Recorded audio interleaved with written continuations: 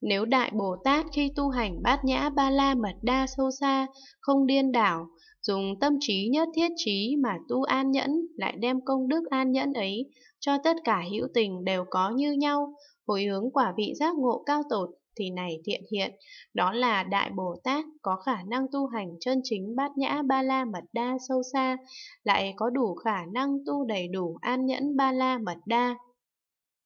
Nếu Đại Bồ Tát khi tu hành bát nhã ba la mật đa sâu xa không điên đảo, dùng tâm trí nhất thiết trí mà tu tinh tấn, lại đem công đức tinh tấn ấy cho tất cả hữu tình, đều có như nhau hồi hướng quả vị giác ngộ cao tột,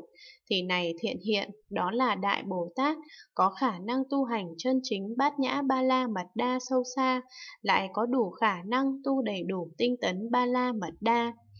Nếu Đại Bồ Tát khi tu hành bát nhã ba la mật đa sâu xa không điên đảo, dùng tâm trí nhất thiết trí mà tu tịnh lự, lại đem công đức tịnh lự ấy cho tất cả hữu tình, đều có như nhau hồi hướng quả vị giác ngộ cao tột,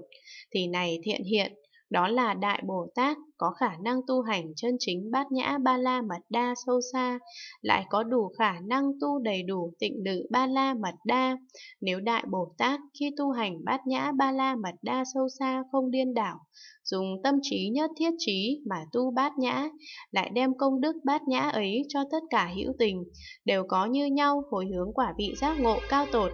thì này thiện hiện đó là Đại Bồ Tát có khả năng tu hành chân chính bát nhã ba la mật đa sâu xa, lại có đủ khả năng tu đầy đủ bát nhã ba la mật đa sâu xa.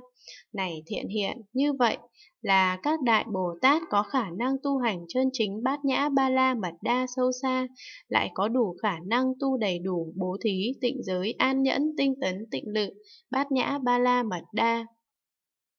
Hết quyển thứ 348